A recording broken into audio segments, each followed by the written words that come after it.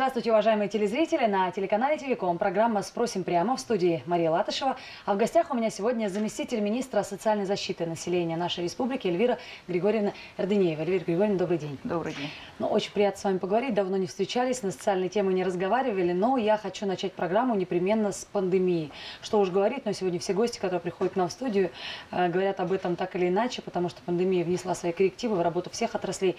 Вот расскажите, коснулось ли это учреждение социальной защиты, да, и в том числе вот каких-то организаций социальной помощи семье и детям конкретно? Да, конечно, мы, а, вы правы. В настоящее время действительно коснулось всех наших учреждений, как взрослых, так и детских. Детских учреждений у нас 20, а из них 8 организаций для детей-сирот. Они ушли в тотальную изоляцию указом главы от, 30, от 13 марта. Надо сказать, что значит тотальная изоляция. То есть дети наши и а, сотрудники работают и живут в, этом, в учреждениях наших. Да? А, а остальные учреждения работают в штатном режиме при а, соблюдении вот, э, всех мер безопасности. В первую очередь, конечно, были приобретены все необходимые, будем говорить, э, средства защиты, средства защиты угу. конечно же, да. А, организации, допустим, принимающие документы, они уже принимали у нас только по, значит, графику и по по записи, а, специально надо было записываться. А, ну, а детские организации, вот я остановлюсь на своих детских организациях, потому что я курирую их, да, а, действительно, вот 8 организаций в режиме тотальной изоляции. То есть они уже вместе с детьми жили в доме, на территории проводили все мероприятия, а за пределы уже было невозможно. Помогало министерство с закупом вот СИЗов и так далее, средств Конечно. защиты? Или вот были меценаты, которые откликнулись и помогали детским домам и так далее? Есть и меценаты, которые никогда не остаются в стороне. Также э, средства защиты были э, приобретены министерством значит, э, указом главы действительно были выделены средства, а, огромные средства для того, чтобы вот э, наши организации ушли вот в тотальную изоляцию. Да. А вот в этой тотальной изоляции режим э, был, принимали детей, продолжали принимать? Или Конечно. Вот в тотальной изоляции так. не принимали детей, так. а остальные, это а, организации, реабилитационные центры, центры да, угу. центры помощи, таких у нас больше десяти, они принимали детей. Угу, то, угу. Тоже так же соблюдая все меры безопасности. Да. Ну вот а расскажите, чем все-таки занимались ребята? Вы сказали, все мероприятия были внутри двора и так далее. Я думаю, ага. ущерба никакого они не почувствовали, ущемления или все же вот заметно Есть такая, все равно есть такая уже усталость детей, да, но хочу сказать, что а, наши воспитатели, сотрудники проводили различные мероприятия. Прямо вот говорим, вот если остановиться на нашем малышке, у нас есть такой малышок, а, значит, организация детей-сирот, где дети от 3 до 10 лет, да, иногда и даже больше бывает, если это бывает семья, да, то хочу сказать, что они ушли как летний лагерь то есть на своей территории а, разбились по отрядам. Прям смена, и, типа, да? Да, смена, точно так же поднимали флаг, вечером закрывают, значит, день, как обычно, ну, как во всех детских оздоровительных лагерях, да, и надо сказать, что проводились различные мероприятия. Это, во-первых, а, посвященные 75-летию Победы, да, а, красной нитью проходит весь год э, воспитательные вот эти вот в планах, да, воспитательных работ каждой организации.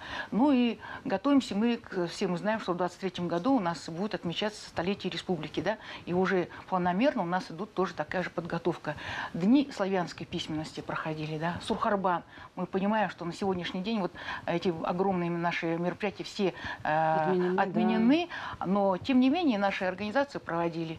Ну, надо сказать, что и не обошлось и без спонсоров, конечно, в первую очередь, да, э, не во всех организациях наших есть спортивные залы, да, всего в двух организациях. Это в центре Звездном у нас спортивный зал и огромная территория, да, и в центре Добром. Но там у нас, конечно, взрослые дети уже, да, и это здорово, что у нас есть такая большая территория, спортивный зал, потому что можно заниматься и спортом.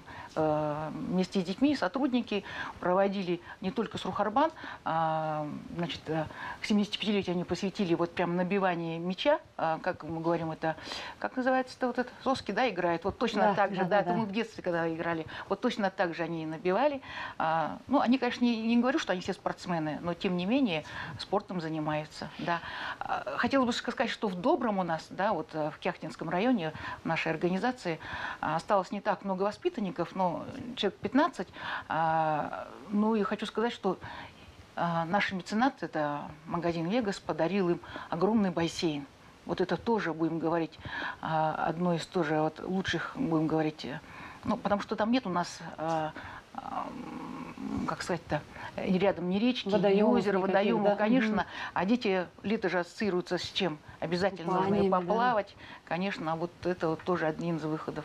Потому что летние лагеря на сегодняшний день мы в условиях пандемии не работают, и дети все остаются в организациях. Это, А конечно, раньше в сложно. обычное время дети из э, центров ездили, да? Конечно, они все смены? отдыхали в лагерях, да. Ну, нагрузка как-то увеличилась или нет? Центр работает в прежнем режиме и... Конечно, нагрузка увеличилась на то, что надо занимать детей с утра Занимать, до да. вечера. да. Кроме этого, конечно же, кроме вот этих увеселительных мероприятий, да, будем говорить таких а, разнообразных, мы а, у нас в каждой организации оборудованы комнаты а, бытовой адаптации. Что туда входит? Так. Это а, такая, будем говорить, комната кухня мини, да, а, упакована, будем говорить, э, полностью всеми бытовыми приборами нашими, э, которые нужны на кухне, да, и дети вместе с воспитателями э, учились готовить себе первое, второе, горячие, там, салаты. Но больше всех, конечно, они очень любят все стряпать будем говорить, и ватрушки, и пончики, и все подряд. Ну да, э, часто говорят, самым- что дети, которые да. живут в таких центрах, лишены вот этой вот социализации, да, и вы создаете как можете. Вы Мгм. э, сказали о центре в Кяхте, Мгм. а вот как у вас обстоят дела с другими центрами в районах, в других селах? Как там? А в других селах точно так же. Вот у нас есть очень хороший центр «Радуга», в Так. котором проживают дети в квартирах. А, Там проживает три семьи, обыкновенная квартира с кухней, а, спальней, с залом, ну, в доме. И дети ведут не только а, хозяйство, огород садят, да, а, уже они сейчас э, поедают то, что вот посадили, да, да. если честно сказать. Ну, это в каждой организации у нас дети все равно занимаются огородом и доведением домашнего хозяйства для того, чтобы приобщались и знали, что это такое, и были готовы уже к своей взрослой жизни. Юрий Но... А сколько сегодня детей, которые остались без печенья родителей, детей-сирот в республике? Вот цифры какие? У нас как-то эта статистика растет, уменьшается? Ну, хочу сказать, что статистика уменьшается. У нас более 5000, это 5400 детей-сирот. Из них э, большая часть, это почти 90%, проживают э, в приемных и опекунских семьях. В наших организациях проживает э, именно детей-сирот, оставшихся без попечения, э, где-то 300 50 угу. на сегодняшний день, да. Туда входит и Аистенок э, в организации детей-сирот, и в у нас есть образовательная организация, это Галтайская э, коррекционная ну, школа, там тоже, да, угу. проживают дети-сироты. Ну, а в основном, надо сказать, что статистика уменьшается. Мгм. Мгм. Расскажите, пожалуйста, вот как живут дети в приемных семьях? Потому что мы знали случаи, когда детей берут и все же возвращают опять. Есть вот такое. такие стрессы, да, для Это ребенка. тоже- Вроде в семью попал, а потом родителям что-то не понравилось, и ребенка вот какую-то разменную монету туда-сюда. Вот есть такие прецеденты? Есть такие. А, вот, допустим, в прошлом году у нас за весь год было 44 возврата. Представляете, М. 44 это очень много. Это почти что целый детский дом, да. Ну, это брак, будем говорить, а, а, работы службы, который готовит а, приемных родителей, школы приемных родителей. В то же время надо сказать, что и приемные родители, когда дети вырастают, они не понимают, что вот, э, понимаете, берут маленького ребенка, да, Так. а ребенок растет, складывается характер, да, уже и в старшем уже возрасте в основном возвращает м, 15-14 лет, когда уже не справляются. Переходный Да. возраст еще. Если вовремя обратиться в нашу службу сопровождения, да, то можно вот это корректировать. Можно находить компромисс, можно друг, помочь и родителям, и ребенку, как Обращаются? обращаются. У нас служба сопровождения работает. и Удается, да, выравнивать Да, какие-то случаи? удается выравнивать. Ну и количество, надо сказать, по сравнению с прошлым годом, позапрошлым годом возвратов меньше. Ну и надо сказать, что и детей меньше стало, а, детей-сирот. Разбирать, да? Но А расскажите, пожалуйста, вот какой основной фактор называют родители, когда возвращают ребенка? Что мы не справились или как? Ну вы же брали ответственность, это же не животное какое-то. Как чаще всего аргументируют? не справляется с поведением ребенка, потому что запросы совершенно другие. А, У ребенка уже сложился характер, ну и вот несовместимых с характером психологическое, будем говорить. А такое, потом да. как-то с этими детьми работают психологи дальше? если Конечно, центре, у да, нас они в каждом попадают? центре есть психологи, которые отрабатывают. Ну, вы сами знаете, в образовательных организациях а, на сегодняшний день уже количество психологов увеличено, в каждом районе есть службы психологические. У нас работает и телефон доверия, все его знают, да, А если что, можно позвонить, если хотите анонимно, да, а если а, служба сопровождения, то, к сожалению, не в каждом районе, но есть служба сопровождения, и если можно обратиться даже к специалистам опеки и попечительства, специалисты опеки передают, значит, а, сразу а, психологическую службу, которая может выехать а, и помочь поработать В этом плане дефицита кадров психологов нет, да, сегодня у вас? А, Ну, хочу сказать, что не все у нас остаются работать. Очень сложно работать. И, в не принципе, выдерживают, да, некоторые? некоторые, да, не выдерживают некоторые. Мгм. Да.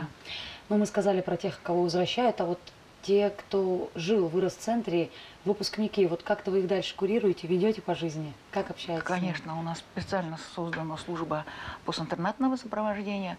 А, На сегодняшний день в этой службе у нас находится а, на сопровождении 190 дет- э, детей, которым уже ну, старше уже 18 лет, мы до 23 лет, пока вот не выпустим, э, не подготовим к самостоятельной жизни, вот так мы постоянно курируем. В первую очередь, конечно, это а, чтобы он обязательно получил какую-то специальность, образование. А, Потом, значит, готовим, чтобы, а, если они стоят на очереди по жилью, значит, чтобы обязательно жилье получил вот эти наши выпускники в основном, да. И, конечно же, пытаемся их устроить на работу. А, Вот на сегодняшний день у нас стоят тоже ам, службе занятости. Мы со службой занятости четко отрабатываем с каждым районом. А, Стоят э, наши выпускники уже СУЗов, которые не устроились на работу, ну, чтоб, э, и получали а, меры социальной поддержки от службы занятости. Это в размере где-то средней заработной платы э, по республике. В принципе, выплаты неплохие. И вот в течение шести месяцев они получают и потом устраиваются на работу. А что касается жилья, вот нет сегодня проблем все-таки для по детям-сиротам? Есть проблемы, конечно, это... Какого плана? Вот расскажите. Самая большая проблема это у нас, конечно, с обеспечением жильем. Мгм. А, Более трех с половиной тысяч стоит на очереди, им, кому уже исполнилось 18 лет, мы должны им уже жилье это предоставить. да. Но выпускникам мы помогаем как? А, Если действительно негде ему жить, значит, устраиваем а, в СУЗы, чтобы они вместе с общежитием с образовательной организацией идут нам всегда навстречу. И надо сказать, что а, жильем а, обеспечиваются именно в общежитии, да, проживание, вот это временное хотя бы. Также у нас есть 15 квартир, а, которые особо нуждающимся мы распределяем, да, это квартиры, которые передали нам граждане пожилого возраста, которые находятся у нас а, в комнатах повышенной комфортности а, в наших организациях для а, старшего поколения. Мгм. Это в доверии, допустим, у нас а, 15 квартир, вот если мамочка молодая, допустим, с детьми, действительно негде жить, вот у нас в основном вот мамочки живут на очереди, конечно, тоже 15 квартир этих не хватает, еще стоят э, 19 э, таких остро нуждающихся. Расскажите, вот когда в вашу службу поступает сигнал о неблагополучии, вот расскажите, как ведется работа, проводятся ли рейды и так далее? Конечно, рейды проводятся. У нас а, на сегодняшний день около 900 семей стоят на, а, в наших а, центрах помощи, э, в центрах соцподдержки в районах территориальных наших организациях а, на учете как семьи в социально опасном положении, в которых воспитываются а, больше тысячи, полта- больше полутора тысяч детей, да, а вот за все это время, вот за- с 1 января, вот за сколько месяцев, за 7 месяцев проведено более 900 а, обследований данных семей, чтобы они вовремя сдали документы на детские пособия, если они получают, все мы знаем, какие детские пособия на сегодняшний день и как увеличены они на сегодняшний день, да, а, чтобы вовремя, чтобы были обеспечены всем необходимым дети наши, тем более, что а, если у них, потому что они сейчас ведут ну, вели, будем так говорить, а, образование в режиме онлайн, чтобы были у них средства, как обучаться, да, это телефоны, чтобы были хотя бы, не говоря уже, ну, смартфоны, да, а, не говоря уже о компьютерах, хотя у нас есть, а, будем говорить, такая программа, когда обеспечиваем тоже и компьютером. Это Единая Россия у нас решила, что вот такие семьи можно обеспечить, ну, многодетные семьи, у которых доход ниже прожиточного минимума.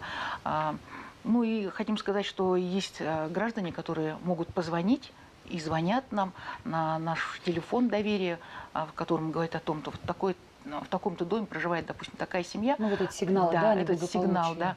А, значит, э, мы его сразу отрабатываем. Вот, допустим, а, на наш телефон поступило вот за 7 месяцев 52 звонка, да. Из 52 звонков 14 подтвердилось, да. 14 а, подтвердилось, из трех семей детей мы вынуждены были изъять. Но изымаем мы уже совместно, а, ну, выезжаем в рейды вместе с органами опеки попечительства, если это такая необходимость, а, со службами инспекции по делам несовершеннолетних. Если нужна медицина, значит, э, выезжаем с медициной.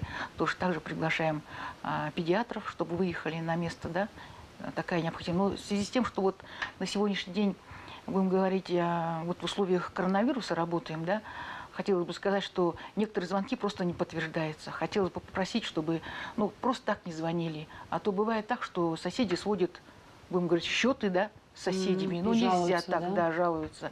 Так тоже нельзя, конечно. Ну, прям вот такие бывают тяжелые случаи, что приезжаете и понимаете, что, блин, действительно очень сложно, очень тяжело. Вот такие шокирующие есть, истории есть в нашем Есть городе? такие. Вот я же говорю, из Или по районам, семей. или вот в Улан-Удэ это? Если в Улан-Удэ, есть и по районам, когда приходится прямо а, изымать детей, потому что дети не могут сами себе обеспечить основные вот нужды покушать и так далее. В основном есть и маленькие совсем дети. Ну Очень вот вы, наверное, страшно. все случаи, наверное, знают, а, как друг за другом за Играевском районе у нас дети то оставали в сугробах, то еще что-нибудь, да. Вот просто хотела бы вот еще раз всех родителей mm. говорить, э, привлечь к тому, чтобы еще раз сказать, что дети это дети, мы от них, за них ответственны до тех пор, пока не поставим на ноги. Ну и все-таки давайте вот теперь о сентябре, приближается начало нового учебного года. Мы узнали, что буквально вчера правительство России приняло решение выделить еще по 10 тысяч на детей от 0 до 16 лет. Все-таки школа, поддержка, как ваше министерство будет помогать? Мы знаем, что ежегодно проводите акции, помогая, поможем детям собраться в школу. Продолжится ли это в этом году? Да, в этом году продолжается эта акция. А, если в прошлом году выделено было 7,5 миллионов рублей на 7,5 тысяч детей, да, а в этом году та же сумма есть. В принципе, а, работа уже ведется во всех наших территориальных отделах. Заявления все уже практически собраны, уже 100%. И это выделяется та же сумма на 7,5 тысяч детей, воспитывающих более чем в 4 тысячах семьях. Да?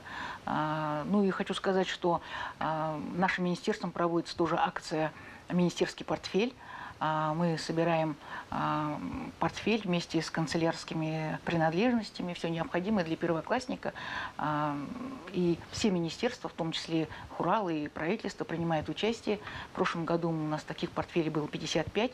Э, мы их отдали нашим первоклассникам, которые находились в наших центрах. Ну, вот, вот если мы сейчас захочет помочь, да, куда да. можно обратиться? Прямо позвонить в Министерство социальной защиты? Конечно, 44 24 34 телефон все знают, в принципе, можно обратиться туда. Но все да. мы знаем, что с 1 сентября обучение будет не онлайн, как чего боялись многие, а да. все-таки мы пойдем в школу, да, будем учиться, что называется, живьем. Вот э, что можете вот как-то рассказать вот о планах на сентябрь? Вот какие силы, куда будут потрачены ваше министерство? Вот основная работа какая вот сейчас будет? Буквально завершение программы, минутка осталась. А, я хочу сказать, что мы сейчас готовим своих выпускников, в первую да. очередь, да, у нас таких таковых 31, а, которые уже написали а, и подали документы, их готовим, значит, к самостоятельной жизни жизни, они уже поступили в СПО, да, а мы их привезем, передадим, как положено, значит, да, собираем им вещи, приобретаем, вот это в первую очередь. Ну и хотела бы сказать, что все те выплаты, которые прошли, они огромные выплаты прошли всем детям от 0 до 18 лет, независимо от того, это пенсионный фонд выплачивает, либо выплачивает Министерство социальной защиты населения, да. Хотелось бы всех родителей, а, всех родителей все-таки заверить, что 1 сентября нужно подготовить детей мы, конечно же, поможем тем, кто не сможет. Да? Администрация районов тоже также принимает участие в этой акции. Да? Помогите собраться э, детям в школу. Да? Э, ну и ждем всех 1 сентября в школе.